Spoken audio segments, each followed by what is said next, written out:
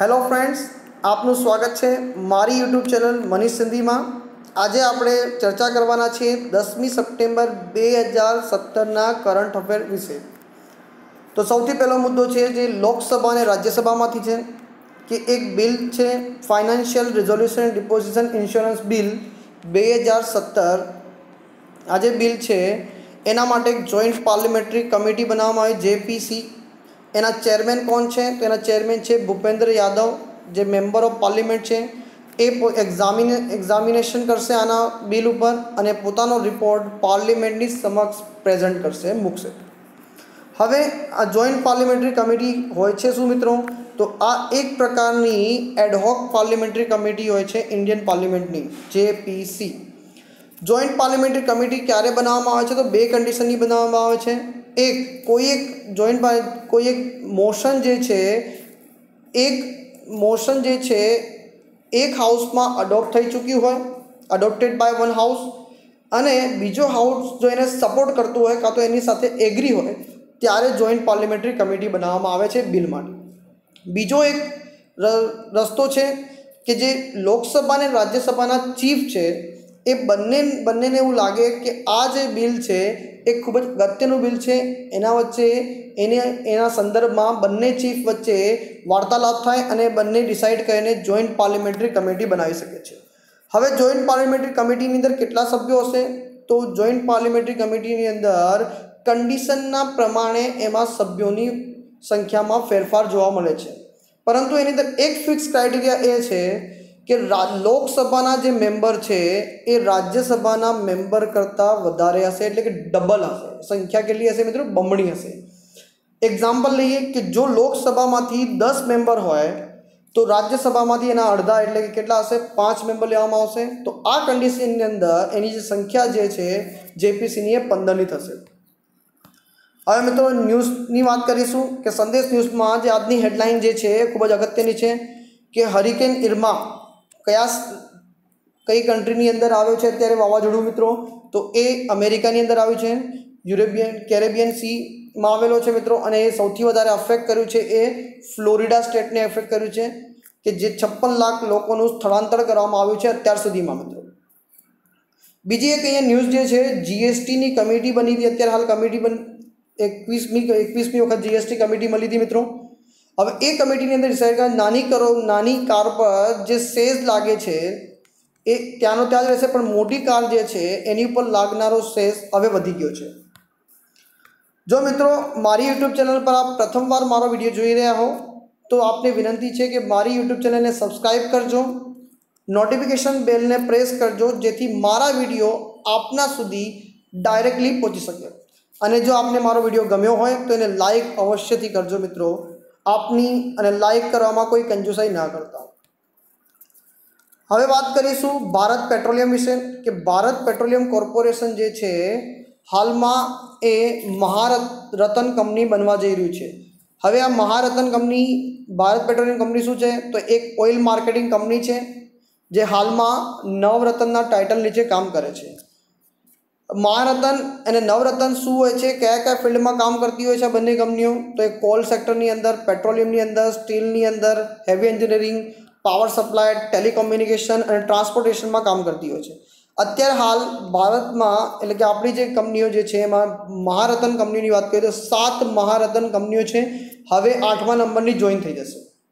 આ સાત કંપનીઓની અંદર સૌથી પહેલાં છે ભારત હેવી ઇલેક્ટ્રિકલ્સ બીજું કોલ ઇન્ડિયા, ત્રીજું ગેલ ઇન્ડિયા, ચોથું Indian oil corporation IOC NTPC oil and natural gas corporation ONGC and steel authority of India. આ સાત મહારત્ન કંપનીઓ છે.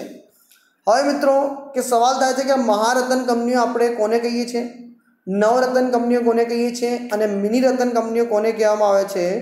કઈ કંપનીઓને મિત્રો? સીપીએસઈ હવે એનું ફૂલ ફોર્મ ખાસ યાદ રાખજો મિત્રો કે સેન્ટ્રલ પબ્લિક સેક્ટર સેન્ટ્રલની જે પબ્લિક સેક્ટર કંપનીઓ છે એન્ટરપ્રાઇઝ જે છે, એને આપણે સીપીએસસી તરીકે ઓળખવામાં આવે છે. આ મિત્રો ભારત પેટ્રોલિયમનો સિમ્બોલ છે. સૌથી પહેલાં આપણે ક્રાઇટેરિયા વાત કરીશું તો મહારત્ન સ્ટેટસ મેળવવા માટે કંપની જોડે શું શું ક્રાઇટેરિયા હોવા જોઈએ મિત્રો? એક, એ નવરત્ન કંપની હોવી જોઈએ. બીજું કે આપણા જે ઇન્ડિયન સ્ટોક એક્સચેન્જ જે છે એની અંદર લિસ્ટેડ હોવી જોઈએ અને સેબીના જે રેગ્યુલેશન છે એના પ્રમાણે, એના મુજબ એની પાસે પબ્લિક શેર હોલ્ડિંગ પણ હોવું જોઈએ. સાથે સાથે જે એનું એન્યુઅલ ટર્નઓવર જે છે એ પચીસ હજાર કરોડથી કરોડથી વધારે હોવું જોઈએ અને કેટલા વર્ષ સુધી? કન્ટિન્યુઅસલી ત્રણ વર્ષ સુધી એનું ટર્નઓવર જે છે, એન્યુઅલ ટર્નઓવર પચીસ હજાર કરોડથી વધારે હોવું જોઈએ. સાથે સાથે એની જે એન્યુઅલ નેટ વર્થ જે છે એ પંદર હજાર કરોડથી વધારે હોવી જોઈએ. કેટલા મિત્રો? સેમ ત્રણ વર્ષ કન્ટિન્યુઅસ ત્રણ વર્ષ સુધી. અને એનું જે નેટ પ્રોફિટ જે છે, વાર્ષિક પ્રોફિટ જે છે પાંચ હજાર કરોડથી વધારે હોવું જોઈએ કન્ટિન્યુઅસ ત્રણ વર્ષ સુધી. તો આ ક્રાઇટેરિયા એના માટે સ્થિર થાય છે.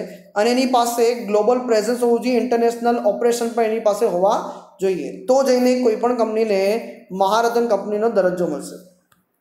હવે નવરત્ન સ્ટેટસ લેવા માટે તો મિની રતનની કેટેગરીમાં આવવું જોઈએ મિત્રો. સેન્ટ્રલ પબ્લિક સેક્ટર એન્ટરપ્રાઇઝ હવે બીજો એક મુદ્દો આની અંદર છે કે જ્યારે ત્રણ, પાંચ વર્ષ પાંચ વર્ષના જે એમઓયુ થાય છે મેમોરેન્ડમ અન્ડરસ્ટેન્ડિંગ એમઓયુ જે સિસ્ટમ છે, એ પાંચ વર્ષમાંથી ત્રણ વર્ષ કન્ટિન્યુઅસ સુધી એમને એક્સલન્ટ કાં તો વેરી ગુડનું રેટિંગ મળવું જોઈએ મિત્રો. અને એમનો જે સ્કોર છે, જે સિક્સટી કાં તો તેથી વધારે હોવો જોઈએ છ ક્રાઇટેરિયા અંતર્ગત. હવે છ ક્રાઇટેરિયા કયા છે? તો એ આ છે મિત્રો. એક net profit to net worth કેટલો છે એનો રેશિયો મેન પાવર કોસ્ટ કેટલી કાઢે છે પ્રોડક્શન સર્વિસ માટે? જે ડિપ્રિશિએશન છે interest and taxes to the capital employ જે જે પણ કેપિટલ એમ્પ્લોય કરે છે એમ્પ્લોયની કેપિટલ જે છે, એના પર એ કેટલો પ્રોફિટ મેળવે છે? એ interest and taxes to turnover કે એનો પ્રોફિટ કેટલો છે? ઇન્ટરેસ્ટ સાથે અર્નિંગ પર શેર પર શેરનું એનું અર્નિંગ કેટલું છે? ઇન્ટર સેક્ટરલ પરફોર્મન્સ કેવું છે? આ છ છ ક્રાઇટેરિયામાં જેનો સ્કોર એટી થાય સિક્સટી થાય મિનિમમ સિક્સટી કાં તો સિક્સટીથી વધારે હોય તો એને આપણે નવરત્નનું સ્ટેટસ મળે છે. હવે વાત આવે છે કે મિની રત્ન સ્ટેટસ લેવું હોય કંપનીને તો શું કરવું? કે જે સેન્ટ્રલ પબ્લિક સેક્ટર એન્ટરપ્રાઇઝ જે છે, એમને જો પ્રોફિટ લાસ્ટ ત્રણ વર્ષમાં એમનું પ્રોફિટ કન્ટિન્યુઅસલી થયું હોય અને જે નેટવર્ક જે છે, પોતાનું જે નેટવર્ક જે છે, એમાં કન્ટિન્યુઅસલી ઇન્ક્રીઝિંગ આવ્યું હોય ઇન્ક્રીઝિંગ હોય પોઝિટિવ આવતું હોય, તો એને આપણે મિની રતન સ્ટેટસ આપીએ છીએ. હવે કેટલી મિની રતન મહારતન કંપનીઓ છે મિત્રો? તો સાત મહારતન કંપનીઓ છે અને એક એડ થશે. સાથે સાથે સોળ નવરત્ન કંપનીઓ છે, જેમાંથી એક ઓછી થઈ જશે મિત્રો. અને સાથે સાથે સેવન્ટી વન એટલે કે ઇકોતેર મિની રતન કંપનીઓ છે આપણા દેશની અંદર. હવે ન્યૂઝ છે ડીઆરડીઓ તરફથી કે ડીઆરડીઓનું જે ડીઆરડીઓનું ફૂલ ફોર્મ શું થાય છે મિત્રો? સૌથી પહેલાં ક્વેશ્ચન એ આવશે. ડિફન ડિફેન્સ રિસર્ચ ડેવલપમેન્ટ ઓર્ગેનાઇઝેશન એણે હાલમાં જ એક એન્ટી ટેન્ક ગાઇડેડ મિસાઇલ એટીજીએમનું પર સફળ પરીક્ષણ કર્યું છે. રાજસ્થાનની અંદર એ એન્ટી ટેન્ક મિસાઇલનું નામ શું છે મિત્રો? નાગ અને કઈ છે આપણી ઇન્ડિજિનિયસલી ડેવલપ ઇન્ડિજિનિયસનું મતલબ થાય છે આપણે ઇન્ડિયામાં જ ડેવલપ થઈ છે મિત્રો. અને ઇન્ડિયામાં ડેવલપ થઈ હોય મિસાઇલ કઈ છે મિત્રો? આ તો ત્રીજા નંબરની છે. એન્ટી ટેન્ક ગાઇડેડ મિસાઇલ ત્રીજા નંબરની છે મિત્રો. હવે સ્પોર્ટથી મિત્રો આપણે ક્રિકેટ, બેડમિન્ટન બહુ ચર્ચિત છે, રેસલિંગ ચર્ચિત છે, પરંતુ એક બીજી ગેમ છે જેનું નામ છે સ્કોસ. આ સ્કોસની અંદર ખૂબ જ સારું પરફોર્મન્સ કરી રહ્યા છે આપણા હરિન્દર પાલ સંધુ. જેમણે continuously twenty first international game જીતી લીધી છે consecutive twenty first international game જીતી છે, અને સાથે સાથે આ ટાઇટલ જે છે કન્ટિન્યુઅસલી પાંચ ટાઇટલ જીત્યા છે ઇન્ટરનેશનલ લેવલે મિત્રો. એટલે કે આપણે ઇન્ડિયાનું બહુ જ નામ રોશન કર્યું છે, અને હાલમાં જ એમણે એક બીજું ટાઇટલ જીત્યું છે મલેશિયન સ્કોર સ્કોસ ટૂરનું ટાઇટલ જીતેલું છે, જે કોલમપુરમાં યોજાયેલું છે મિત્રો. આ હંડ્રેડ પર્સન્ટ ક્વેશ્ચન એક્ઝામમાં આવશે મિત્રો, કારણ કે જે બહુ ઓછું ચર્ચિત નામ છે, ચર્ચામાં નથી આવતું મિત્રો, પરંતુ યાદ રાખવા જેવું છે. હવે વાત કરીએ કે ઇન્ડિપેન્ડન્ટ ચાર્જની અંદર tourism મિનિસ્ટરનો independent charge of minister of state બનાવવામાં આવે છે મિસ્ટર કે જે અલ્ફાન્સ એ આઈએએસ છે મિત્રો. હવે આ કયા સ્ટેટથી બિલોંગ કરે છે, જે તમારે કોમેન્ટ બોક્સમાં લખીને જણાવવાનું છે મને. હવે આજના ક્વેશ્ચન તરફ જઈશું મિત્રો, કે જોઈન્ટ કમિટી જે બનાવવામાં આવી છે financial resolution deposit deposit insurance bill બે હજાર સત્તર માટે, એને હેડ કોણ કરવાના છે? તો ભૂપેન્દ્ર યાદવ મિત્રો, એ ખાસ યાદ રાખજો. નેક્સ્ટ કઈ કંપની છે નીચેમાંથી કે જેને મહારત્નનું સ્ટેટસ મળવાનું છે? હવે મિત્રો, તો એ છે ભારત પેટ્રોલિયમ. મિત્રો, જો આઈઓસી અને ઓએનજીસી આ બંને ઓલરેડી મહારતન કંપનીઓ છે, જ્યારે રિલાયન્સ ઇન્ડસ્ટ્રી એ ગવર્મેન્ટ ઓન કંપની નથી, મિત્રો. હવે, કયા સ્ટેટે એમઓયુ સાઇન કર્યું છે ગૂગલ જોડે ડિજિટલ લિટરસી ઇન્ક્રીઝ કરવા માટે? તો જ્યારે પણ જો આમાં બે કન્ફ્યુઝિંગ સવાલ છે, મિત્રો એક્ઝામમાં તમને કન્ફ્યુઝ કરશે. જો ડિજિટલ લિટરસી આવે, તો આસામ આન્સર આવશે, મિત્રો. અને ડિજિટલ ઇન્ડિયા અંતર્ગત જે છે ક્વેશ્ચન પૂછાય તો ત્યાં ગુજરાત આવશે. એ ખાસ યાદ રાખજો મિત્રો ડિજિટલ લિટરસી અને ડિજિટલ ડિજિટલ ઇન્ડિયાના અંતર્ગત ગૂગલ સાથે ટાઈઅપ પૂછવામાં આવે તો ગુજરાત આન્સર આવશે અને ડિજિટલ લિટરસી સાથે આવશે તો આસામ આવશે. હવે ડીઆરડીઓની જે ટેસ્ટ ફાયર કરી છે એન્ટી ગાઇડેડ મિસાઇલ રાજસ્થાનની અંદર નામ શું છે મિત્રો? તો નાગ હરિન્દરપાલ સિંધુ એ કયા સ્પોર્ટ સાથે સંકળાયેલા છે મિત્રો? તો ખાસ યાદ રાખજો, એ સ્પોર્ટ્સ સાથે સંકળાયેલા છે, એ ખાસ યાદ રાખજો. આમાંથી, નીચેનામાંથી ડેપ્યુટી ચેરમેન ઓફ રાજ્યસભા કોણ છે મિત્રો? તો યાદ રાખજો, પ્રોફેસર પીજે કુરિયન. હવે ભારત પેટ્રોલિયમ કોર્પોરેશન લિમિટેડના સીઈઓ કોણ છે મિત્રો? તો યાદ રાખજો, બહુ જ એમિનેન્ટ પર્સન છે.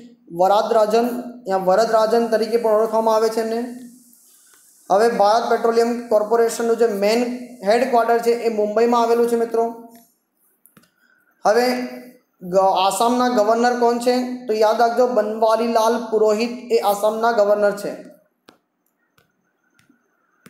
આસામના ચીફ મિનિસ્ટર કોણ છે મિત્રો? ચીફ મિનિસ્ટર ઓફ આસામ એ છે Sarbananda Sonowal. Director general of the DRDO DRDO. ના, કોણ છે મિત્રો? તો એસ ક્રિસ્ટોફર. મિત્રો, આ હતા બે હજાર સત્તરનું કરંટ અફેર્સ દસમી તારીખના.